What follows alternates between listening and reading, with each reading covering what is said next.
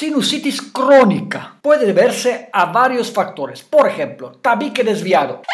Los boxeadores y arte marcialistas que reciben mocazos en su nariz, por eso no hay que meter la nariz donde no deben. Frecuentemente sufren del tabique desviado y de la sinusitis crónica. También puede influir el estilo de vida. Por ejemplo, si fuma usted bastante, probablemente es un buen candidato para sinusitis crónica. Si trabaja como maestro o maestra en jardín de niños o en prejardín, jardín de niños. O pre-prejardín de pre-pre niños en la pre-pre-preparatoria estará expuesto de una manera reiterativa a las infecciones bacterianas y es también muy buen candidato para sinusitis crónica. Y luego que los maestros no tenían riesgo en su trabajo y claro, también a algunas enfermedades más pesadas como por ejemplo la fibrosis quística, tumores en la nariz o en los senos nasales pueden ocasionar la sinusitis crónica. Nadar en aguas contaminadas, por ejemplo, en las albercas públicas, no que eran tan limpias. Pero cosa interesante, interesantísimo, casi la mitad de los enfermos de sinusitis crónica tienen algún problema en su sistema inmunológico. Cuando iba a hacer examen a la universidad me dijeron que no podía porque tenía un problema neurológico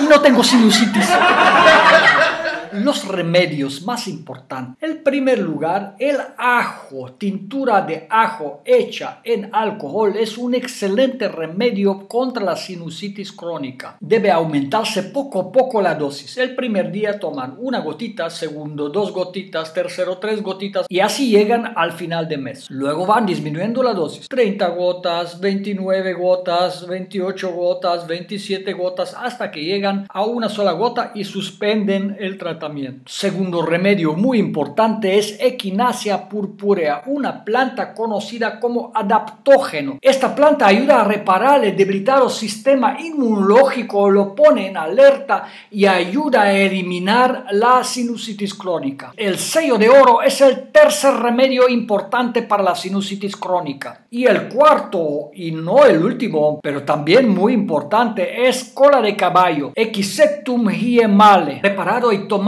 en té. Claro, tomar mucho líquido, agua con limón sin azúcar como agua de uso todo el tiempo.